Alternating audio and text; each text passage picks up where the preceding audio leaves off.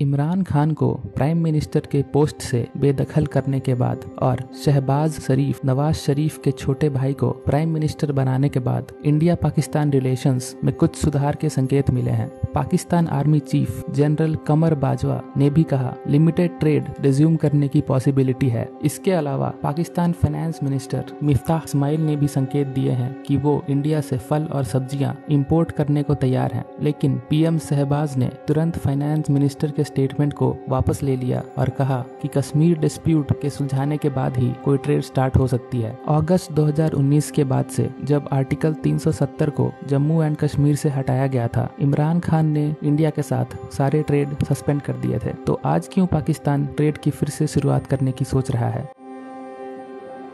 पाकिस्तान की इकोनॉमी अभी काफ़ी बुरे हाल में है। करंट अकाउंट डेफिसिट बढ़ते ही जा रहा है और इन्फ्लेशन भी काफ़ी हाई है। इन सब का कारण है poor planning, corona virus pandemic और हाल ही में आए फ्लड्स, जिसके कारण one third Pakistan under water है। इस ट्रेड से पाकिस्तान को काफ़ी फ़ायदा होगा। इंडिया से बाकी कंट्रीज़ के कंपैरिजन में कम प्राइस में फल और सब्ज़ियाँ इंपोर्ट कर पाएँगे। लेकिन मिस्टर शरीफ, पाकिस्तान के पब्लिक ओपिनियन के कारण इस ट्रेड से पीछे हट रहे हैं। इमरान खान को नो कॉन्फिडेंस वोट से निकाले जाने और आने वाले 2023 जनरल इलेक्शन को ध्यान में रखते हुए वो पब्लिक ओपिनियन के खिलाफ नहीं जाना चाहते। ऑलरेडी आईएमएफ से सात बिलियन डॉलर्स की एड लेने के बाद पब्लिक सब्सिडीज कम करने के कारण उनकी गवर्नमेंट की पॉपुलैरिटी नीचे जा रही है। मोदी जी ने भी एक सिंपैथेटिक ट्वीट किया पाकिस्तान फ्लड्स पे। इससे पता लगता है कि इंडिया तैयार है फ़ूड एड भेजने को, अगर मदद मांगी जाए। ऑलरेडी कोविड 19 के दौरान इंडिया ने पाकिस्तान को एसेंशियल वैक्सीन सप्लाई किए हैं। और ये भी